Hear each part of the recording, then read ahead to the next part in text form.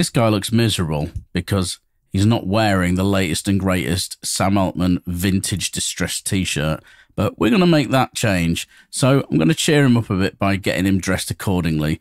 So we're in ChatGPT 4o here and um, using the latest and greatest image model. I've um, generated the image of this glum looking man here. But what we're going to do is to show you how quickly and easily it is, see how powerful it is to add um, clothing and accessories to images, either existing images or images you're generating on the fly.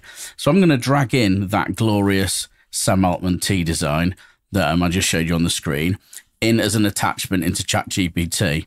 And I'm now going to say, let's see, um,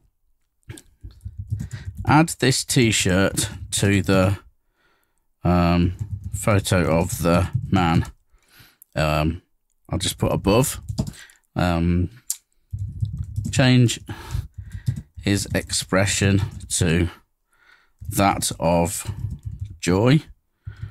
And he is, my time is terrible, pointing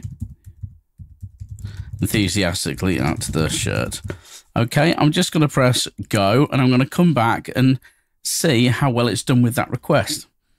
And so now our image is finished generating and let's see what we get. There we go. He's a lot happier. And why wouldn't he be? He's wearing, he's wearing a piece of iconic fashion garb there. One thing to note is you will get some slight variation because it's recreating. It's not using pixels from the image you supplied directly. So in this case, we've got this Sam Altman t-shirt and the likeness is a little bit more authentic on the image of the t-shirt, even though it was generated in um, ChatGPT 4o a little bit earlier.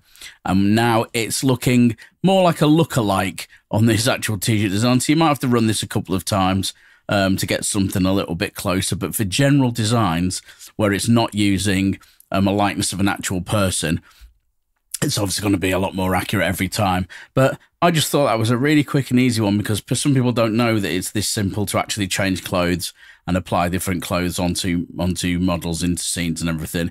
It's just as simple as asking it to do it now. It's really that good.